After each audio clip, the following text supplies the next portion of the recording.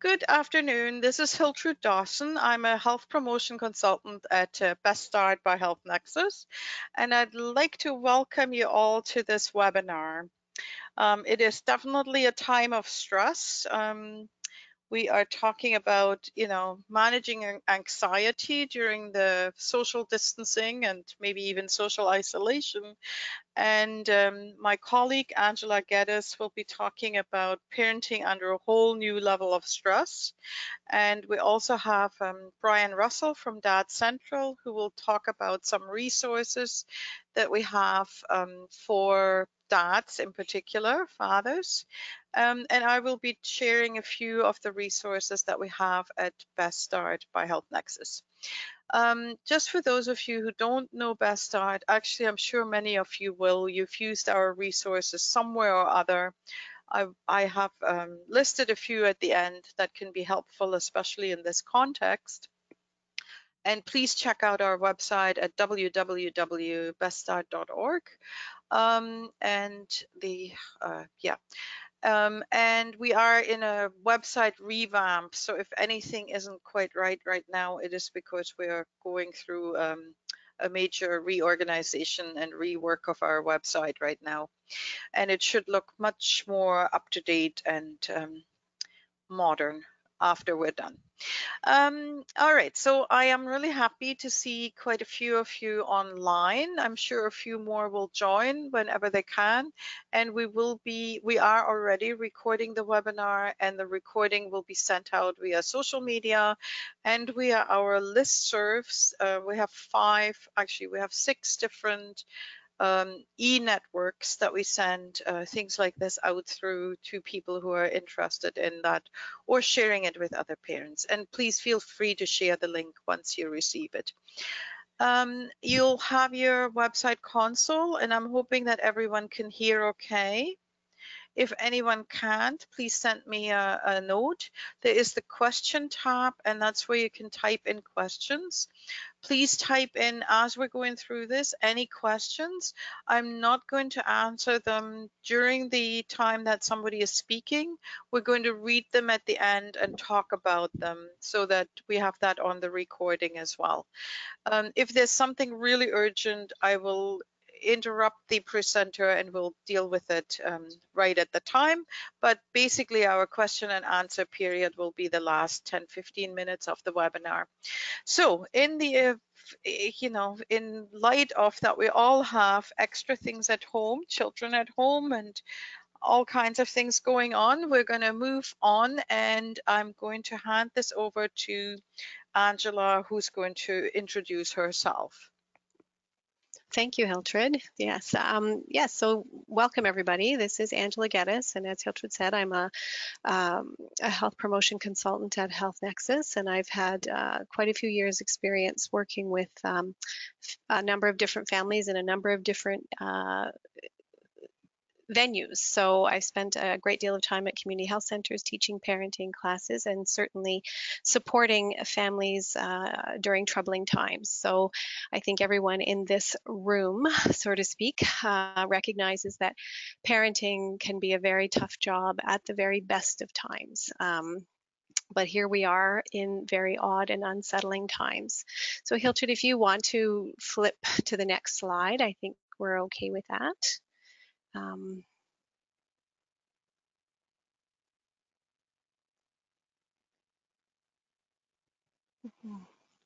um, so the difference obviously today and what we're hoping to to just discuss are just some strategies and some tips that help us through some of these unique experiences that we're having. But you know addressing anxiety and stress we're going to have i'm sure many of you are familiar with a lot of the strategies that we're we're going to discuss today but we're just going to amp them up a little bit and just provide reminders and support for one another to uh, to help us all get through this because every one of us in this room are experiencing these um, these situations right in in various different forms. So so the next the next slide we're going to talk about you know what is actually happening at home right now that might be a little bit different than what we're used to. Although I do work with many families who experience what they refer to as as real and um, and challenging isolation. I think we've just upped it to a degree that certainly has not been within my lifetime before. So we are recognizing that, you know, we are very isolated, where uh, some families are far more so than others. Um, what's happening at home too for many are real uh, and unique financial concerns, um, a level of uncertainty and fear I think that many people have never experienced before. Um, I think there are many parents too that are really worried uh, about their their children and their academic progress and where what this means, what this break from school means, and the enormous responsibility that they're placing on themselves in order to keep their children uh, moving forward in that in a good way. So. Um, I also think that, you know, again, with the isolation, that means there's a lack of support. There's a lack of uh, get-togethers. There's just those play dates, those play groups that, you know, our Ontario early years are, are filled with centres across the province that were put in place exactly to reduce isolation and to make sure that families have a common place where they can um, share their, you know, celebrate their their experiences, but also share openly um, some of their trials and tribulations. And obviously, that's not possible right now. So, with that comes a level of grief. And I think that there is, uh, you know, various degrees of that, but we are experiencing grief and not being able to have some of those things that we we have become so used to. Uh, and I think that it's really important to acknowledge that. And on the flip side of that, what is also happening at home is that you know, for some, there's quality time with family members that people have been longing for and certainly have just not had the time.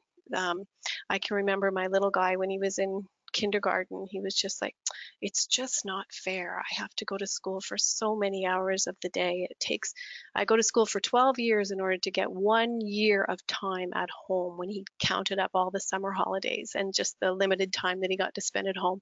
He didn't feel like that was fair that he spent more with his teachers than his mom so I thought that was really kind of interesting. Um, and, you know, to take advantage of that opportunity to rest, to, to do some of those recreation and leisure activities, obviously on your own and practicing all of the social distancing and that kind of thing. But, you know, doing some of those things, including not the fun stuff necessarily, but the spring cleaning and just having time to do those things and time to cook a good meal and t- or a favorite recipe that brings you comfort are some things that are now happening at home that weren't happening as as often before. So so we'll we'll explore a little bit more now. We can move to the next slide, please, Hiltrud. Um, just talking a little bit about some of the compounding risks, compounding issues that are experience that we're experiencing right now. So if there are mood disorders, if there are, um, you know, current difficulties handling stress, if there was uh, issues within relationships prior to this um, COVID-19 experience, um, if there's postpartum depression, and if there was already existing loneliness or uh, you know a family at risk of breaking up for example well then obviously we've got very limited places to go. Uh, we've got you know different things different ways that we have to address these things. But i think that you know, it's really important for all of us to recognize that if we are experiencing acute stress, what does that mean? What does that look like? And how can we really experience it and process it given the circumstances that we have right now? But to deny it or to avoid it or to stuff it just certainly compounds those things. Um, and you know there are a variety of different support systems in place and thankfully we are living in 2020 in the sense that we have access to um, telehealth and you know online platforms like we just never have had before. So um, again mood disorders just yeah sorry go on yeah. So the next one no it's okay Hiltrud we can move on to the next risk and that is um, i think it's really important to for all of us to know that sometimes home is not a safe place. And i think we talked about this uh, amongst the team that we're already hearing from police officers that there's an increased uh, amount of calls around domestic violence and even just community disturbances because people are experiencing more stress than what they're used to and uh, more agitation more fear all of those things. So sometimes home is not a safe place. So there are risks to uh, to children um, more child protection issues for sure. Um, and then more risks within the within the couple and the family dynamic as well. So those things are things that we have to consider. Um, so I would encourage you if you have any questions or any other, I want this to be as interactive as a, as a webinar can be, but just throw throw some comments into the chat box or the questions and we can discuss them at the end. So if there's any compounding issues that we that we are worrying about, I'd be happy to address those at the end. Um, so how do we as parents cope with our anxiety? And again, some of these things are going to be the same strategies that we always use, but maybe we'll just be a little bit more acutely aware of how uh, to pull them out of our back pocket and use them more readily. So the first one I think is really, really important is just to really acknowledge the feelings. Um, you know, I, I, mentioned about feeling um, grief. I can speak from myself personally. Um, I have a wedding that was that's planned for May the 1st. We have a reception that's gathering. We have a honeymoon that obviously none of that is going to happen the way I intended to. But I find myself every time I think or I get a little bit sad about that, I find myself feeling guilty and saying, just stop it. This is, this is, and legitimately, it is so small potatoes compared to what other people are experiencing. However, stress is relative and we can and have permission to feel what we feel how we respond to that and how long we allow ourselves or or have to be stuck in in a feeling is something that we do have a little bit more um, control over and certainly the awareness of it and the acknowledgement of those feelings and allowing ourselves permission to feel helps us to process it, helps us to talk about it, helps us to journal about it, helps us to write about it, whatever, but it helps it uh, mitigate the risk of it becoming something that that's bigger than what it needs to be. And so again, I mentioned the online social connections, which I think are really important and that can provide us with a sense that we're not alone. So it's okay to share, uh, you know, some of our more challenging experiences with people who we trust. But then I also encourage folks to think about, you know, what are some of the good things that are going on as well? Because if we're always focusing and supporting one another and sharing some of those those trials, uh, and challenges that can get heavy for folks and we don't we certainly don't want to add to anybody else but we also want to have that safety and that ability to to be open and honest. Um, coping with anxiety another good way too i find is is really good weekly planning. Um, we can talk about that a little bit more and i know that sounds odd but you know, one of the things that new parents, or at least I did as a new parent, find found really, really difficult was that lack of schedule, that lack of my day planner telling me where I was supposed to be at what's what specific time. Now I had to listen to a little person's needs in order to guide my day. Um, but within that experience, you can um, try to develop a, you know, a relatively flexible calendar and some of those routines that that families got used to are, are quite significantly different now and, and creating the opportunity for um, a new a new normal is really helpful. Um, self-care again um, seems kind of out of reach for many, but self-care does not always involve a trip to the spa, as we know that. Um, but sometimes it does involve getting things off of the to-do list, getting to the taxes in the evening and get it fin- getting it finished and you know tackling some of those jobs and you know cleaning the windows and and just doing things that you just didn't have time to do but having them off your calendar so that when things come back to the old normal we're in a much better position.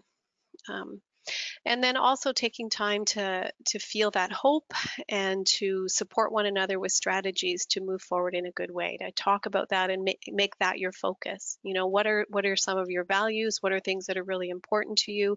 And in spite of what's what's out there and all of the distressing circumstances how can i live um, in line with those values and and really create opportunities to take me closer to them um, and then also during these really unsettling and or unprecedented times, I think that really talking about or exploring your own perspective on things and being open to shifting um, what you used to think was really important, for example, and evaluating some of those expectations. So um, earlier we talked about the pressures that parents are feeling now to to educate their kids and i just think that it's really important that to remember that everybody's in this situation in the same way. So Um, it's not your job to to teach the way that they would be taught in a school but it is your job to teach them in many different ways. You know, these are opportunities to learn a whole bunch of new things. Um, but the most important lesson is um,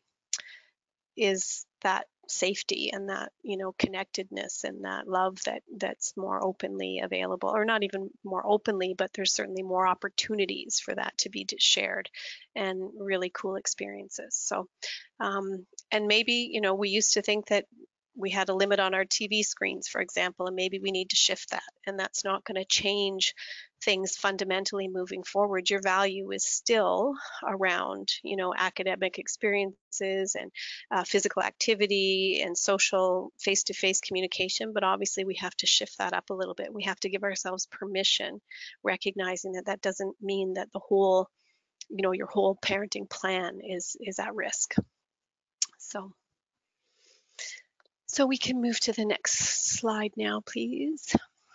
Um, so again, this would be another opportunity, you know, what are some of the circumstances that you're dealing with at home that you would like to discuss? We can just, I just encourage you, if you have any questions or any suggestions, just add them to the chat box and we can talk about them later. So next slide, please. Um, so one of the big questions I think people have are how do we calm our children during these uh, difficult times? And I think that now more than ever, I think it's really important to recognize developmental stages and their own readiness. Um, you know, you know your kids better than I know your kids, obviously. Um, but I think that you know we all know that kids can read us and and I've always said this in all of my parenting classes but when mommy and daddy aren't happy ain't nobody happy. And I think that that that does put a little pressure on us and every once in a while we have to fake it until we make it. Uh, but kids are intuitive and they do know it if you're not feeling if you're not feeling at the top of your game. And quite frankly it's okay to not be at the top of your game. Nobody can be all the time. Um, but how do we make sure that that kids understand the truth as much as they can handle developmentally without scaring the wits out of them? And so i think that you know you also as parents have to know your children and weigh that cost that cost and the benefit to being completely open and honest around everything. So um, but developmentally like i said you have to you have to know your kids and, and see what they're what they're able to handle. But i really encourage you know if you cry or if you're upset or if you're worried about something name it talk about this. You know, when your kids are wanting to go play and they can't go play and they're having a little bit of a temper tantrum about that, you can say, Hey, I get it. I miss so and so, and this is what I'm doing instead. I'm writing her a letter or I'm sending her a text message. Would you like to do that? Would you like to send a picture of somebody? Would could we arrange a, a FaceTime play date later on, or what can we do to explore some of these things together in order to make this a little bit easier for us?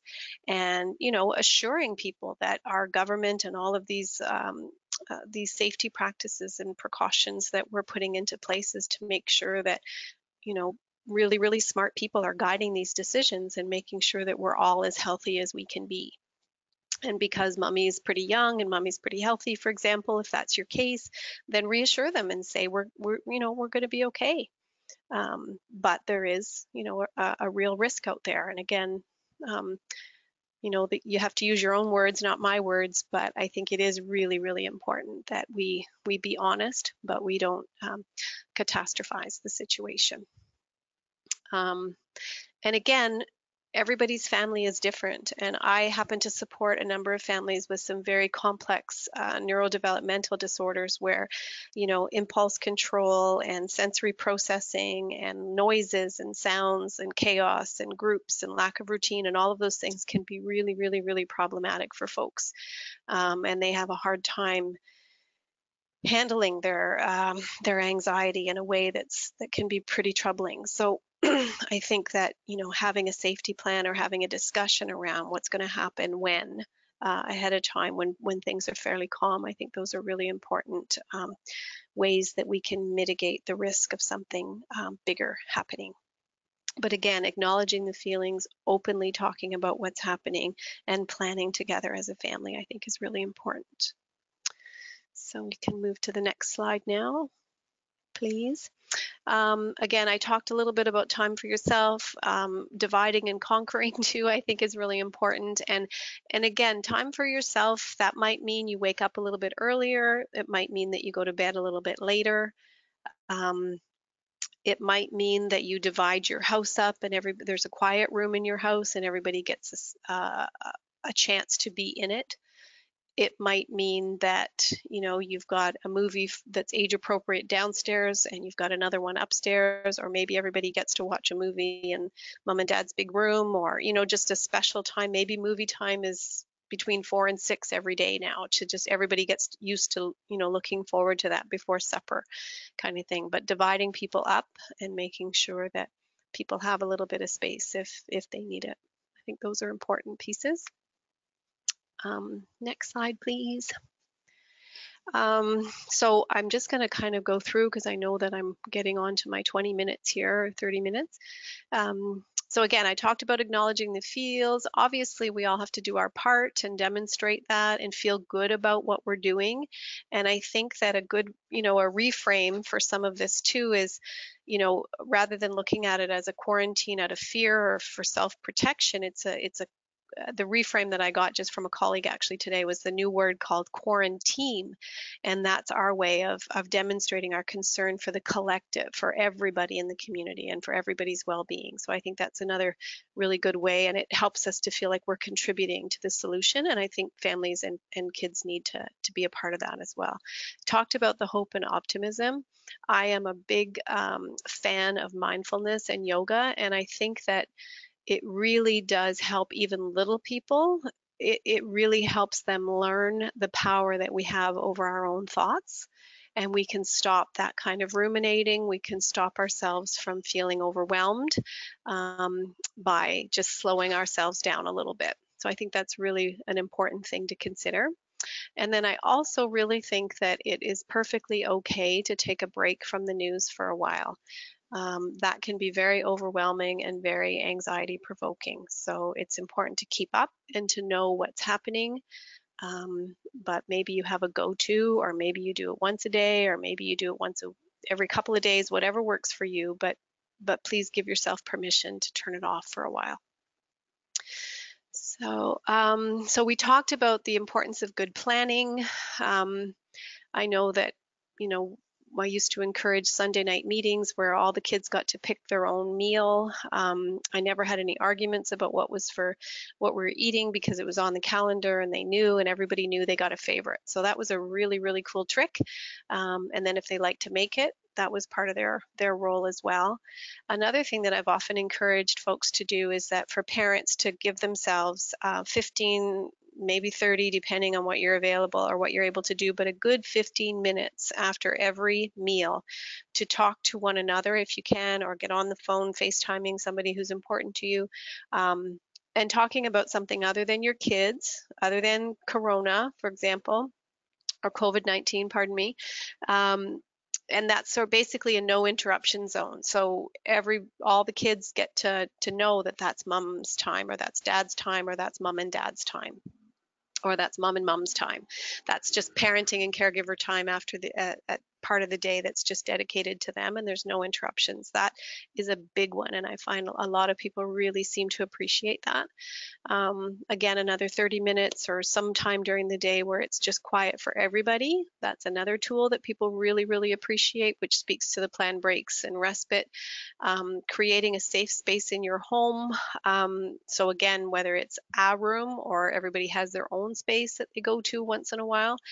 Uh, I also think that it's really important under this new normal to be aware of you know the risks of overdoing things oversleeping overeating over watching binge watching um, and then also some of the vices that are out there. So too much drinking, too much marijuana potentially. Just be aware of those things because it can creep up. And I know that there's jokes going around my Facebook all the time talking about don't forget to put your button-up pants on every once in a while because yoga pants and track pants and pajamas can be a little forgiving. We can lose sight of how many snacks we've had.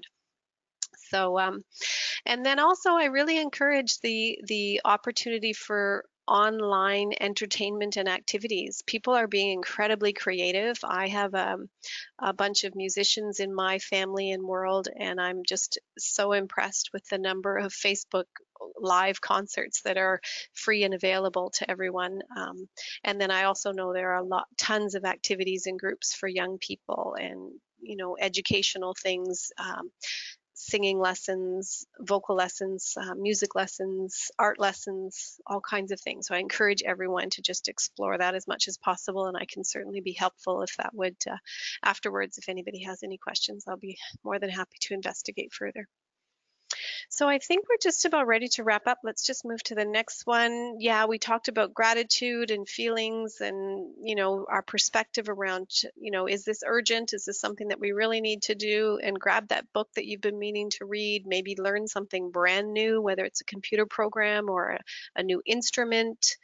Um, and of course, breathing and spending out time uh, uh, time outside in nature is is really important and relatively safe. Um, of course, keeping our, our distance from other people.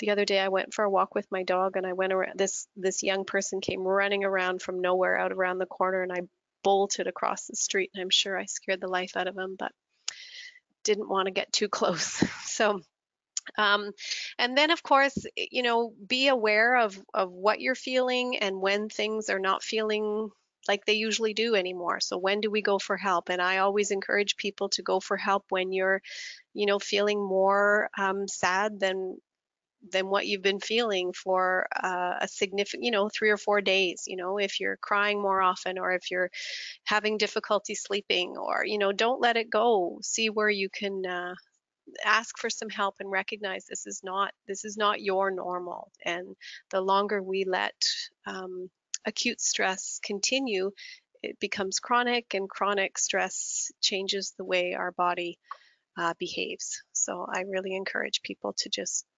notice and really notice when things don't feel right. They probably aren't right, and it's okay to ask for some help. So I've listed a few resources or, or links here for keeping connected. So one of them, there's some COVID-19 um, there's a fact sheet on ementalhealth.ca, and there's uh, that's a, to me that's an excellent it's my go-to resource. As a clinical social worker i send fact sheets out to people all the time and it deals with everything from mindfulness to anxiety to parenting to um, anger management, some neurodevelopmental disorders, autism, sleep problems, all kinds of things. But they they do have an updated resource specifically around coping with COVID-19. So I encourage you to to check that out. Um, if you've got benefits at all, Psychology Today lists uh, clinical providers, um, therapists in your area. So I encourage you to check that out too.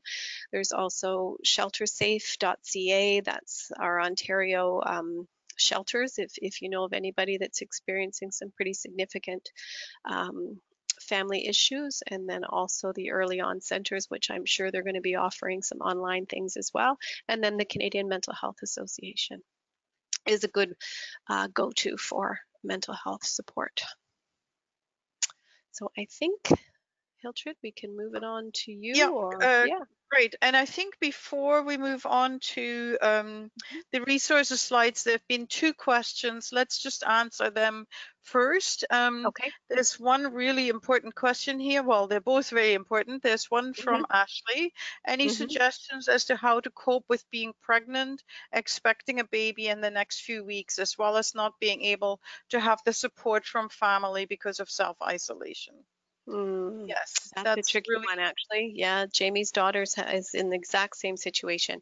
Mm. Um, so I would encourage you to speak to your your physician. I know that I've got friends and colleagues that have um, had family members quarantine. You know, make sure that they stay um, symptom free for over two weeks and they feel comfortable having their mom or you know somebody um, around. So i would encourage you to speak to your physician around that but two weeks of quarantine where there's absolutely no outside contact would would then leave you symptom free um, and safe to to be able to explore you know supporting that that new little pumpkin and certainly your your journey through this. Um, very very difficult times. Again the you know the self-care, the mindfulness, the yoga, the breathing, the acknowledgement, and and online supports. And if there's a I don't know if there's a group around or just ongoing connections around where you're able to really discuss that, I think would be really helpful. Um, and Angela, I can add a little Mm. bit more to that. Mhm. We've been pulling together some resources at um, uh, Best Start. Um, we sent out um, a bulletin last week and a bulletin this week, and there are some key resources now um, that are being developed for pregnant and parenting families. Now, some of them are from the US. Um, we're Mhm. trying to list the new, the ones from Canada first. There's some information from the Society of um, Obstetricians and Gynecologists uh, out there that's pretty useful. But That's I think those are just the sort of actual, you know, li- uh, but what Mhm. Angela's saying is much more important is how do you keep your own mental Mhm. and physical well-being um, Mhm. the other thing I want to say, back when SARS happened uh, in 2003, I was still working in a hospital, and because hospitals weren't accepting visitors, um, you know, parents did feel that social isolation.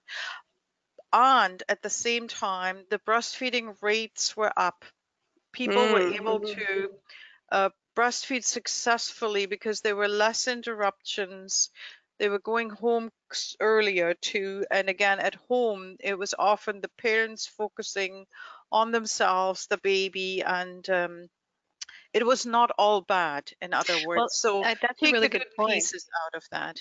And and that's the one good thing too. You're not going to have pop in, you know, drop in visitors, you know, unexpected that just want to spend time with your baby when and they might be interrupting your day. So there's again, like you said, pros and cons to to that obviously. But FaceTime and and include people in your journey as much as you can through the online platforms, I would suggest as well. So we got one more question, and then hmm I'm just going to very quickly show the slides with the resources. Otherwise, Brian won't have any time to I talk at know, I'm all. sorry. I'm sorry. Mhm. I think understanding good enough is what you're doing for you and your children. And Nancy, that's a really good comment. So it's actually more of a comment. I Mhm. agree. If we try to be perfectionists right now, Mhm. we can get ourselves really down and even more stressed. Um, there right. is a point when, you know, you just look at this is good enough. Uh, Give yourself that permission. That's a really, really important piece. And I as yeah. two parents, you may have to give that to each other too. Oh, absolutely. Yes. Actually, I had a, I had a friend of mine that put up a tent and created um, an apartment for his her child because the day before was just awful. So he wanted to move out. He was only five, so she did. So she made she made him an apartment with a tent, and it was beautiful. So um, I encourage you to be creative. Mhm. Okay, so if you saw that slide there with any success stories, feel free to share success stories. I'm sure Mhm. Claire, Claire has ways that you can share them with one another. I just Mhm. wanted to make you aware that, especially if there's mental health concerns for yourself, you know, if you're just anxious with all the stress, completely understandable. But as Angela said, if symptoms start to really not go away very easily, um, it's good to look at some additional resources. We have um, booklets, videos on what um, perinatal mood disorders, um, mood and anxiety or disorders look like, how to recognize them, where to get help. Um, we also have a self-help skills workbook for parents um, that you can work through if you have depression. Um, it works for either parent. Um, it's quite, it's been quite found quite helpful. Um, and there is a booklet that's called uh, Creating Circles of Support, and also it's meant to be for service providers, like, for example, a public health nurse or someone. But here it includes this little circle, and you can look here what are the areas where I need support. And it may be a bit more challenging right now to access these. But you know, if you think a little bit and you listen to what other parents have found or reach out, you'll find that you can access almost all of these in one way or another. The ones, the practical, the instrumental support may be a little bit more difficult to achieve, especially if you're a single parent. Mhm. Um, okay, so that's those. And then there are a few, I listed a few resources on um, parenting during this time. We have a website, Healthy Baby, Healthy Brain, just tips for parents. Playing, learning to play and playing to learn is a really great little resource with little tips and things to help children learn at the age appropriate stage. Hoverball website, I mean, it shows a swimming picture at the beginning, which is, you know, like something we can't do right now. It's a piece I'm missing the most because I usually swim every day. Um, Mhm. But anyway, it has a lot of resources too on how to do physical activity at home. Um, some of this was made for kindergarten teachers. So, I mean, some of it is groups, but it can also be transferred to just one or two children. Um, and there's lots of great ideas what you can do in a smaller space or indoors. Um, building resiliency. Resiliency in children is such a key factor, how they will um, look at things all their life through. So that's a really good booklet to take a look at. And when things get tough, you know, it is um, harder to stay within, you know, like to keep an eye on that physical or that positive parenting so that we don't end up reacting to things too quickly. So there's a website out there, Children See, or it's um, from Best Start, Children See, Children Learn, that talks about positive parenting. There's also a handout on timeouts. These can be really helpful resources. So you can find them all. I've got the website at the bottom. And now I'm going to hand it over to Brian. So hopefully, Brian, you still have a bit of time to talk. I think we've left you 10 minutes.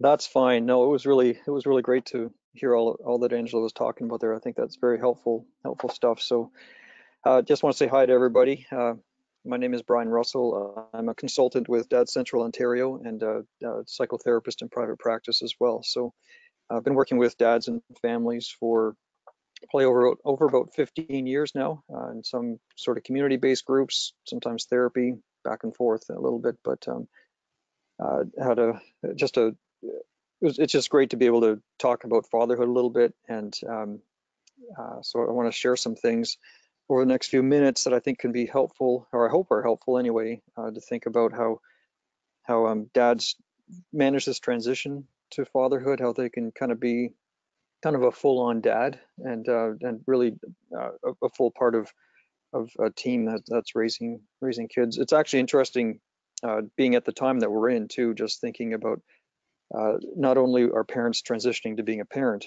but uh, some are actually having to do that and staying at home and uh, having kind of forced isolation on them and that, that sort of thing. So as much as families are changing and the the need I think for dads to be more engaged with families and um, and with with kids and kind of raising raising raising their children uh, sort of in the big picture, we're also seeing that I think right now there's a really neat opportunity for new dads to be using the time that they've got uh, at home to to be able to to do all that they can to to learn about their kids and communicate with their kids and um, and build those those connections. So I think it's it's great, but it also brings a bit of stress. I think with just a bit of the balance of uh, how do I spend my time and uh, how, as a dad, how to how do I figure out the work family balance when if I'm in isolation, family's all around me all the time. So um, I think it's it's neat opportunities and, and a good a good thing to be thinking about.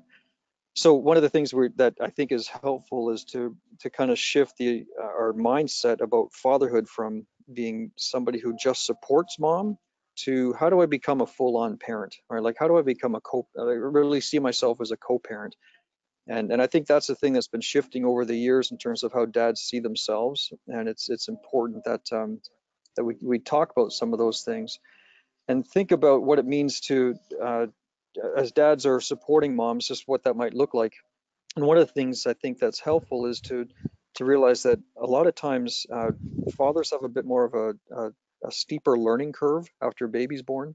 So moms have been thinking about um, their baby, you know, they've been probably reading more than some dads would be reading about being a, a parent. They've just been thinking about it differently, and um, and also they're they're talked to differently. Uh, and so they're, they're I think moms moms might look like they've got a bit of a head start.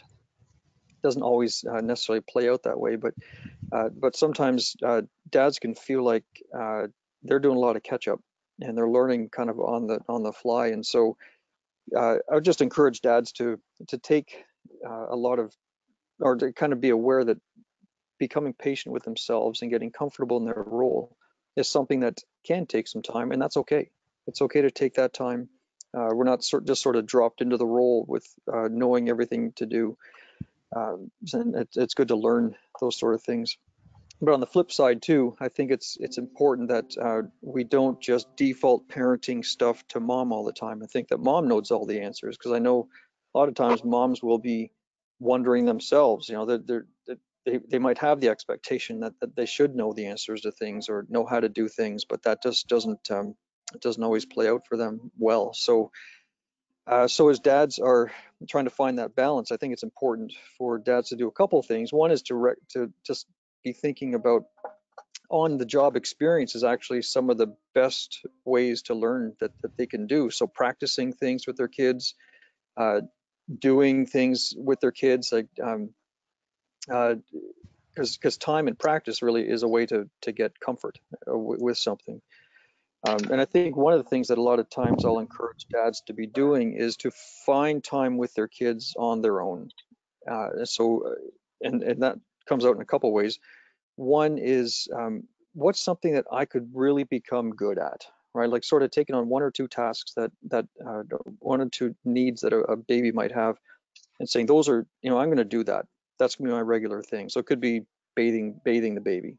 Uh, it could be uh, taking the baby for a walk, uh, sort of once a day, you know, weather permitting and isolation permitting, I guess. But um, but just finding something that that the dad says I can. Uh, this is the one one place for sure that I'm going to get competent in. I'm going to learn, and and uh, uh, and, and also it's a way that this is I'm going to this that I will be connecting with with my baby and and kind of and building the bond uh, that's there.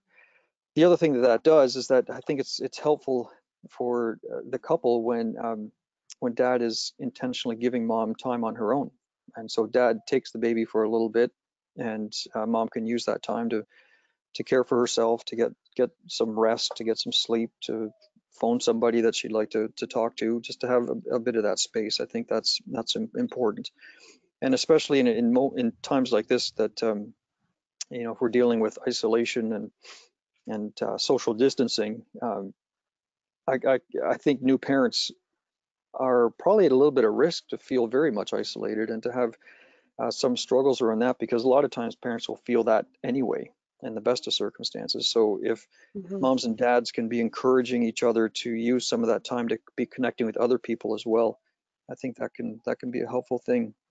So find a job that, that we're good at. Uh, be looking at this as on the job experience. Like what am I what am I doing and how am I uh, just sort of when I get hands on, I'm actually I'm learning as a dad.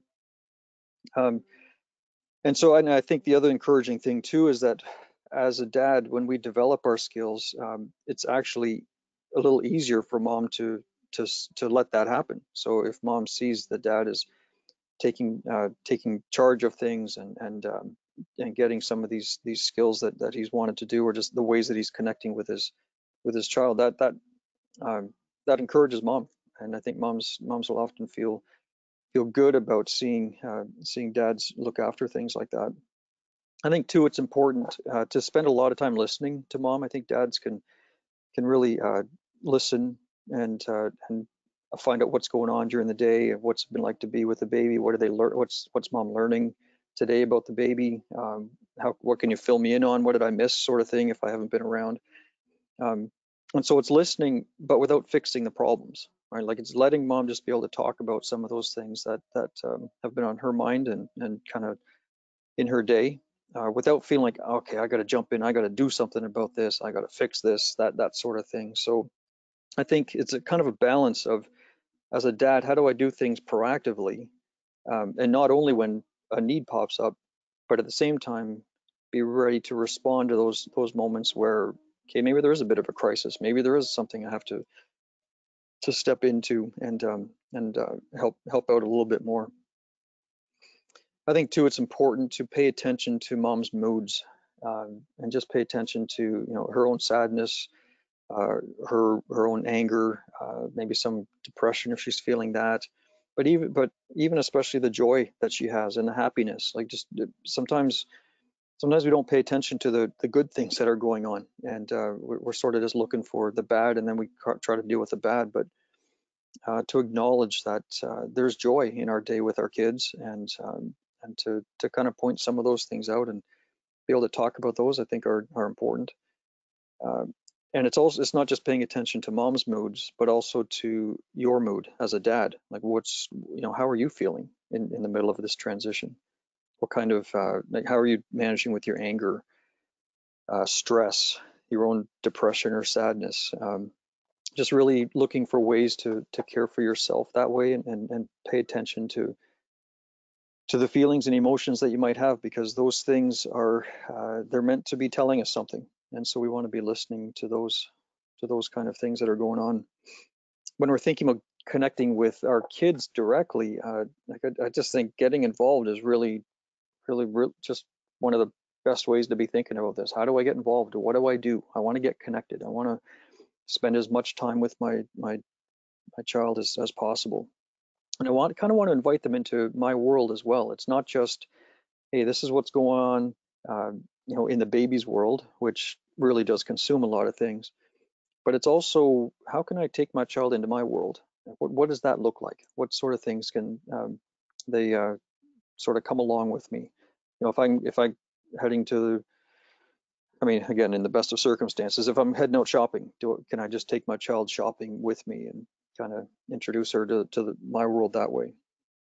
Uh, it's really touch is really important. Uh, holding our babies, uh, massaging our babies, bathing the babies, like anytime we can kind of go literally hands-on, uh, just really teaches gentleness and kindness and uh, softness, like as, as, we as we um, hold them.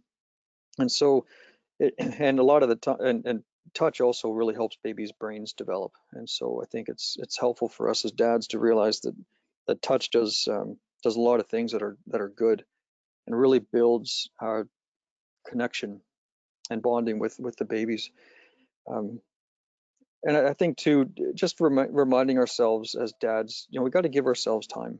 Okay, this the connection we build with our babies is not necessarily going to be right away. We might feel it. Like a lot of times, dads will hold their baby for the first time, and there's just this wow, you know, I never thought I would feel this way about this about this child. So there's like this instant connection that can happen, which is fantastic.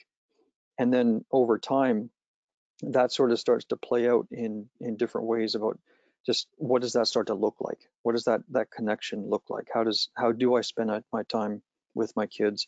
How do I talk about them with other people? Uh, how, how how do I think about them when when I'm not around them?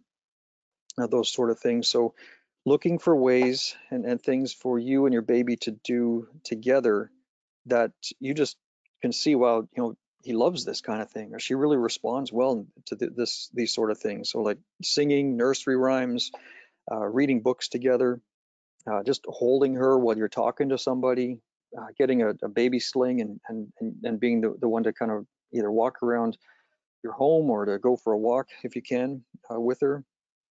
Uh, but any time that you can just keep your baby close, that's uh, those are, are really important things. And and so you know, like our, our goal and our, our hope really is that that um, relationship really develops well between dad and um, and, and, mom because that relationship is, is key and um, and so things like uh, growing together in trust and respect, um, really working hard to make decisions together and sharing responsibility together. So that could be decisions about just sort of what's happening in the home. It could be decisions about uh, the baby and, and where to go and what to do and sort of what the future might look like too. But um, but sharing those decisions is important. So being able to talk about that and finding ways to communicate well is really important. Um, conflict is going to be part of every relationship, and just because there's a baby doesn't mean suddenly we won't have conflict. In some ways, uh, there might be, it might feel like there's more conflict. You know, everybody sort of has different responses to these kind of things. But couples really need to be finding ways to resolve conflict quickly and well. Uh, that models something good for the kids as as children grow up and watch that that kind of that kind of relationship happening. Um, so dealing with conflict, having good communication, uh, and just I think for parents to continue keeping uh, their relationship a priority. Uh, our children, I think, need need our, need to see relationships that are where, where mom and dad are, are getting along, whether they're together or not. I mean, I know things things can happen where um, it might be single parenting, but can those parents figure out how to communicate well and to and to support each other and to, and really because that's what co-parenting is is doing this we're doing this together.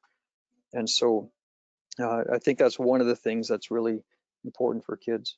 And so um, we have dad central has a lot of resources. Uh, i know Hiltrud's put the website up there so you can go to the website and there's a lot of resources for dads that uh, just to look over and, and think about two that, or one or two that really stand out uh, that I recommend is a booklet called Renovate Your Relationships, and so that that is uh, some tools to look at for how dads can be working to support the relationship they have that they have with mom and, and with the baby. So renovate your relationship, and then there's also the New Dad Manual.ca, and so that's a website that we've created for uh, for new dads, uh, kind of written like a car manual and um, and so that's that's got, got a lot of good information there.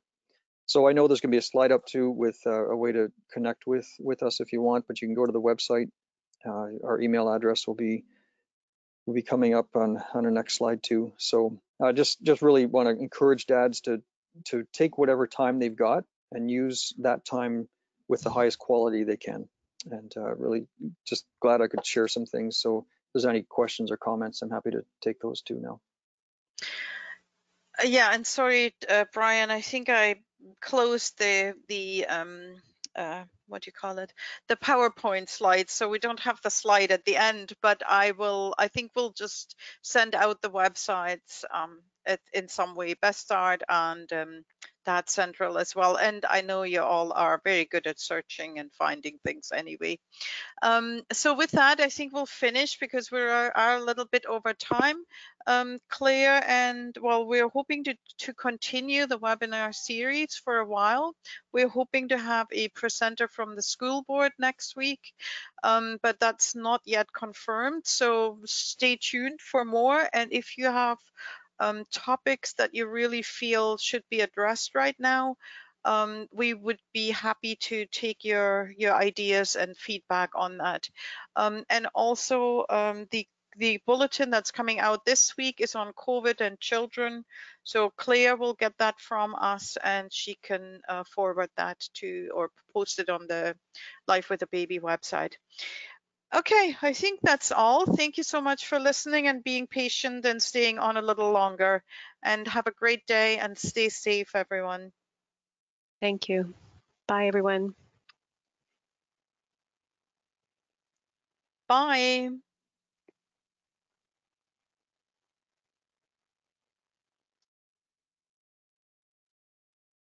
Truth.